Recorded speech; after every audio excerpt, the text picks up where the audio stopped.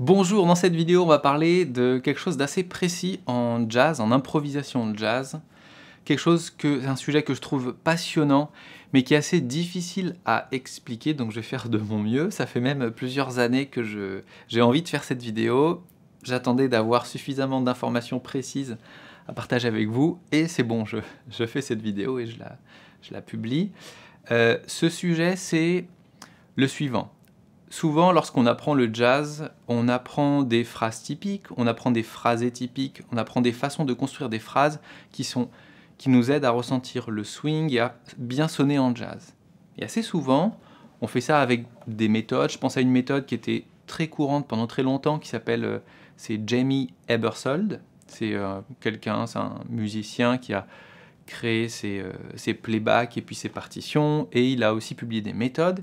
Et dans ces méthodes, et dans plein d'autres méthodes, les phrases qu'on trouve, quand il s'agit de travailler des gammes, des phrases, on va retrouver des phrases qui font 1, 2, 3, 4,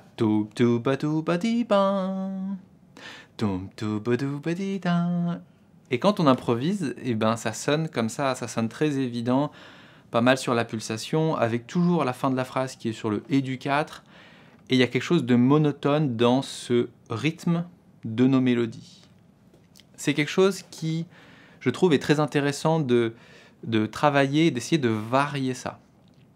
Mais c'est aussi quelque chose qui est très difficile à travailler, enfin progresser dans les différents rythmes qu'on utilise dans nos mélodies, c'est, je trouve, un exercice extrêmement difficile.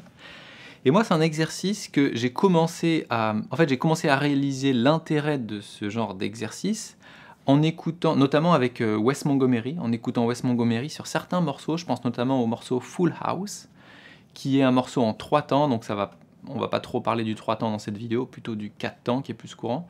Mais c'est vraiment sur ce morceau-là où je, me suis dit, je savais penser en trois temps sur une valse, ok. Et je me suis dit, les phrases qu'il fait ne sont pas des phrases, c'est un peu comme s'il faisait des phrases en quatre temps, mais il les mettait sur le trois temps. Je ne sais pas exactement comment il pensait, mais je me dis, ces phrases-là, rythmiquement, ne sont pas du tout évidentes, et c'est ça qui les rend très intéressantes c'est aussi Django Reinhardt qui fait ça un petit peu d'une façon, façon un peu différente et de façon beaucoup moins euh, courante. Mais il n'empêche que des fois, il y a des choses très intéressantes d'un point de vue rythmique dans ces phrases-là. Je vais vous donner pas mal de conseils dans cette vidéo pour justement arriver à, progresser là-dedans. Surtout si vous êtes un peu euh, euh, bloqué dans ces phrases clichés et puis les rythmes de phrases qui sont un peu tout le temps les mêmes. Donc ce qu'on va faire, et c'est un exercice que je trouve très efficace pour arriver à créer des nouvelles phrases rythmiques, c'est de prendre une phrase extrêmement cliché, donc par exemple... Ça c'est peut-être la phrase la plus cliché, c'est même une blague tellement c'est une phrase cliché, on appelle ça the lick. Euh, donc là, je prends la, tonalité de mi bémol majeur. On va improviser sur euh, le standard There will never be another you dans cette vidéo. Et c'est en mi bémol majeur, et donc ça fait ça la phrase. Ça marche aussi sur d'autres tonalités, do mineur. Peu importe. En mi bémol majeur, ça sonne très bien. Euh, donc cette phrase-là, quand, on, euh, quand je la joue là, spontanément, ce qu'on va faire, c'est qu'on va, la va commencer avec la première note juste avant le premier temps. Donc quelque chose qui va comme 1, 2, 3, 4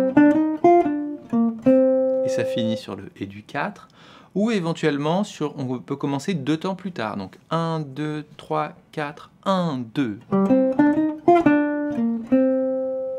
Elle sonne un petit peu plus subtile, mais elle sonne à peu près pareil, placée à cet endroit-là.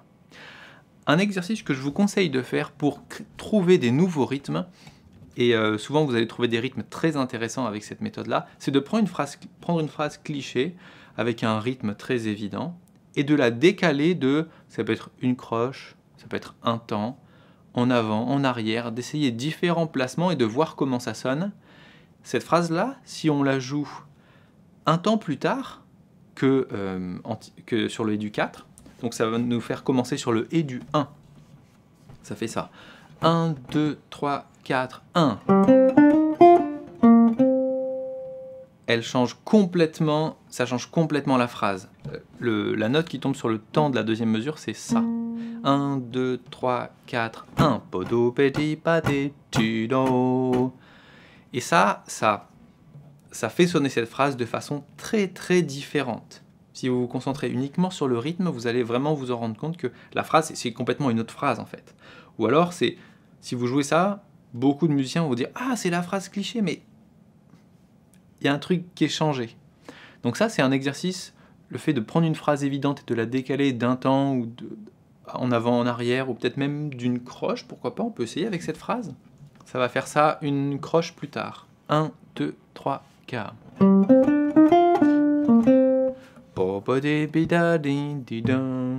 Il se trouve que là, ça sonne pas bien du tout parce que ça sonne vraiment sur le temps. Bon, ça sonne pas trop en jazz.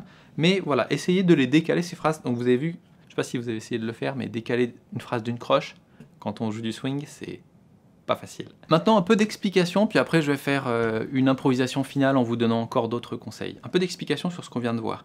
Cet exercice que je vous propose, il peut paraître un peu, euh, un peu trop rationnel, un peu, un peu bête, un peu scolaire. Le truc, c'est que si, avec le temps, j'ai remarqué que cet exercice était efficace, c'est parce que lorsque vous allez essayer de, de créer des phrases différentes rythmiquement, juste en vous disant allez, je fais des rythmes que je fais pas d'habitude, vous n'y arriverez pas. Ou en tout cas, c'est très difficile parce que tant qu'un rythme, vous l'entendez pas dans votre tête, vous n'allez pas pouvoir le jouer. Et c'est ça la difficulté que vous aurez si vous faites tout le temps les mêmes rythmes quand vous improvisez, c'est que vous avez très peu de rythmes différents que, auxquels vous pensez spontanément lorsque vous improvisez. Et donc vous jouez un peu tout le temps les mêmes rythmes. La seule solution de mon point de vue, c'est d'écouter d'autres, donc de trouver ou de repiquer d'autres rythmes, de les écouter plusieurs fois, et ensuite vous allez les entendre dans votre tête et vous aurez envie de les jouer spontanément. Mais tant que vous n'avez pas passé ce stade d'être capable de les entendre dans votre tête, vous n'y penserez pas spontanément.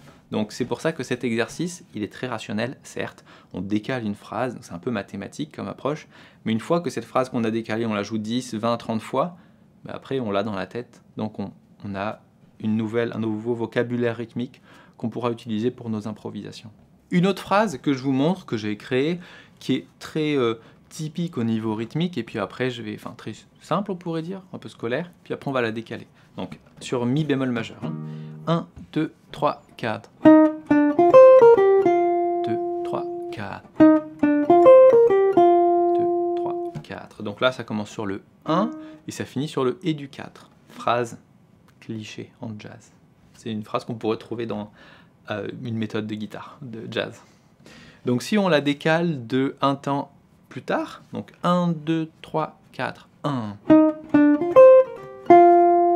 1, 2, 3, 4, 1. 1, 2, 3, 4, 1. Pipo, bato, pito, ba. Donc la fin qui ne résout pas sur le du 4, mais on a le 1 et le et du 1 de la deuxième mesure. C'est comme si la phrase elle continue un peu et cette fin de phrase c'est pas très courant rythmiquement et c'est intéressant, ça marche vraiment bien. Maintenant on fait un temps plus tôt. Donc 1, 2, 3. 1, 2, 3. Tempo, 1, 2, 3, 4. 1, 2, 3. Tempo, ça finit sur le et du 3 cette fois-ci. Donc c'est un peu plus, on va dire un peu plus courant ce type de rythme dans les mélodies, mais en tout cas c'est aussi assez intéressant. Si ce que je viens de dire ça vous intéresse, ça vous parle et que vous avez découvert là dans les choses que je viens de jouer, des choses que des rythmes que vous avez jamais entendus, la seule solution pour les intégrer, vous la connaissez, c'est de les écouter plusieurs fois ces rythmes, de les jouer plusieurs fois, puis au bout peut-être d'une semaine, peut-être deux semaines, vous les aurez spontanément dans l'oreille, mais ça ça nécessite ce travail-là pour les avoir dans l'oreille. Ce qui peut aussi marcher, c'est beaucoup plus difficile, mais ça peut des fois marcher, c'est juste de vous dire, allez, je fais des rythmes variés, donc des rythmes que j'ai pas l'habitude de faire. Quelque chose qui, je trouve, est euh, réalisable, euh, si on se donne cet exercice, et je vais faire une impro en appliquant ça justement, c'est d'essayer de finir vos phrases à des moments improbables. Donc si vous pensiez à faire tout essayez de faire et vous coupez la phrase au milieu. Une autre chose qui fonctionne bien, c'est de commencer une phrase à un moment improbable. Commencez pas sur le premier temps de la mesure, commencez sur le et du 4, le et du 2, le et du 3. le, commencer une phrase sur un contretemps, ça swing plus facilement en général que ça sonne un peu mieux que sur le temps. Mais c'est aussi possible sur le temps. En tout cas, si vous êtes habitué à commencer vos phrases sur le temps, essayez de les commencer sur le contretemps. Ou ça peut être aussi de les commencer sur le deuxième ou le quatrième temps de la mesure. Ça, c'est plus rare et ça sonne aussi très bien. Je vais faire une impro sur There Will Never Be Another You en mi bémol majeur. Et je vais justement essayer de faire ça, de faire une impro qui va être avec des phrases un peu décalées et avec des choses un peu surprenantes au niveau rythmique. L'idée de cette impro, c'est pas que ça sonne, ça sonne super bien, c'est que ça sonne un peu original au niveau rythmique, en espérant. Euh, en fait, je, vais faire l'exercice que parfois je, je, fais pour travailler, où je m'enregistre en train de faire un solo un peu bizarre rythmiquement. Je m'écoute, et s'il y a des bonnes choses là-dedans, j'essaie de les rejouer, de les mémoriser.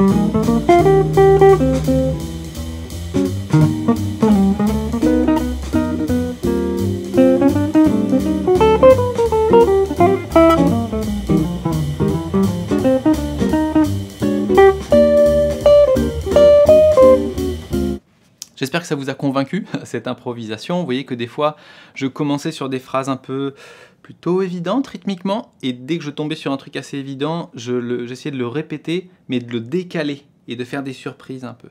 Euh, évidemment, ça c'est difficile à faire. Là, c'est à 170 BPM. Évidemment, si vous n'êtes pas habitué à faire cet exercice, à ce tempo-là, ça va être très rapide et vous n'aurez pas le temps de penser à de nouvelles choses. Mais ça peut être aussi un bon exercice de faire ça. Moi, c'est un exercice que aujourd'hui j'arrive à peu près à faire et qui parfois est un peu euh, qui porte ses fruits, mais pendant des années, pendant très longtemps, j'ai essayé de faire cet exercice et c'était trop difficile, c'était trop rapide pour moi, j'arrivais pas juste à penser à de nouveaux rythmes. Mais à force de faire l'exercice de décaler des phrases, euh, rythmiquement, à force de repiquer des solos et de trouver des fois des phrases très intéressantes rythmiquement et de les rejouer et donc de les intégrer, j'arrive un peu mieux aujourd'hui à faire cet exercice. J'espère que ça vous a plu cette vidéo, que tous les conseils que j'ai donnés, bah, ça vous aura permis de progresser, de découvrir quelque chose peut-être. Partagez cette vidéo, mettez un pouce en l'air, abonnez-vous. Si vous n'êtes pas déjà abonné, vous savez que ça contribue beaucoup à la notoriété de la chaîne et donc ça soutient mon travail. Et puis, eh ben, à la prochaine